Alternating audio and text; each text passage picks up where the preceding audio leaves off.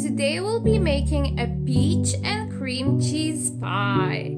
For the complete list of ingredients, please see the description down below.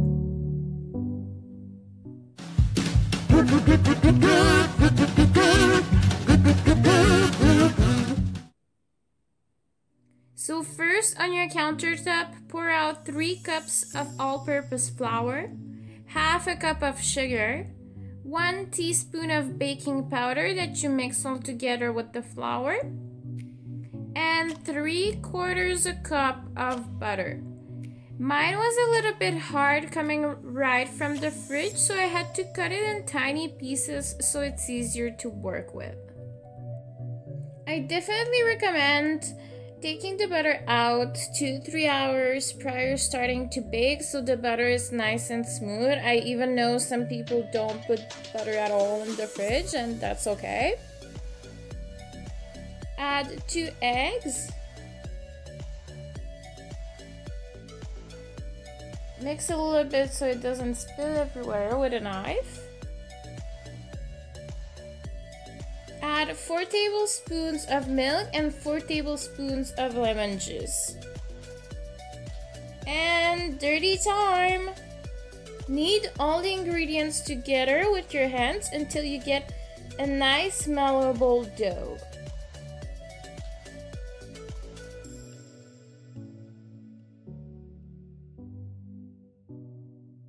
Once you're done, put it aside, preferably in the fridge. So for the cream cheese filling, since the quantity of the dough used is usually good for two complete pies, I'll be using two packs of cheese and each pack is 250 grams, so 500 grams in total. I started by cutting the big pieces in smaller chunks and added one egg, a couple of vanilla extract drops, and most importantly, 1 ounce of rum. Then with a handheld blender, I mix slowly all the liquid ingredients together. When you're starting to get a nice texture, add half a cup of icing sugar and blend again.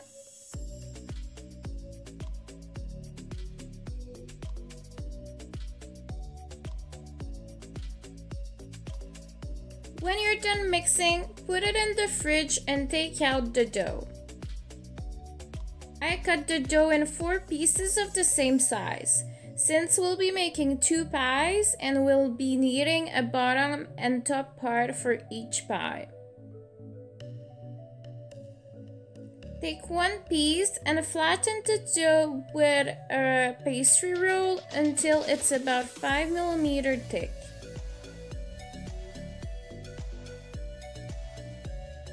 Carefully move the dough into the pie plate and cut out the excess dough with a knife.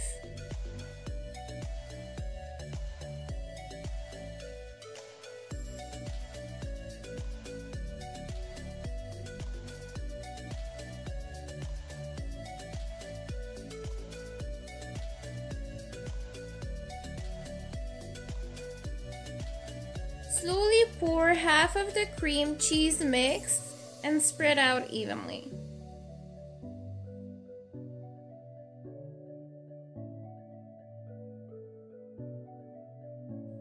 Then cover the cream cheese with pieces of peaches. Here I'm using some frozen ones that I have to frost.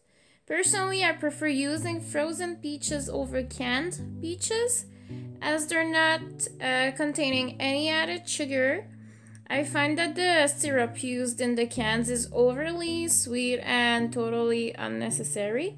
You can use fresh peaches as well, but I would heat them a little bit on a pan before placing them on the pie to smoothen the texture and let them dry a little bit. Now for the top of your pie, all you need is your imagination to decorate. I decided to cut long strips in the dough and to make a little grid pattern with the strips.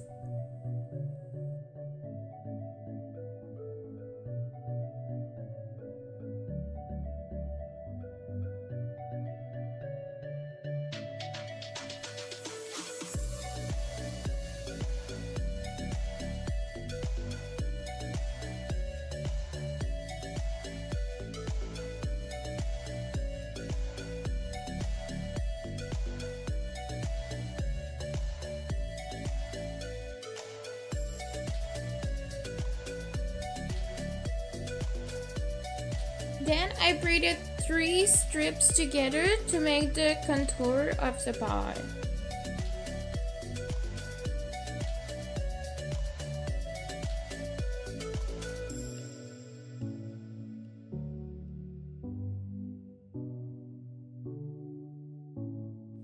In the remaining dough that I had flattened out, I cut out a couple of leaves shapes and three different sizes of flower shapes.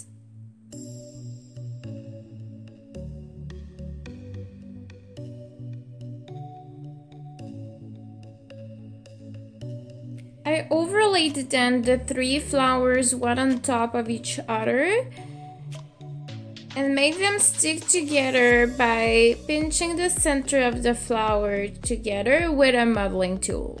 Then I placed the leaves on the pie and added the flowers for a little bit of beauty.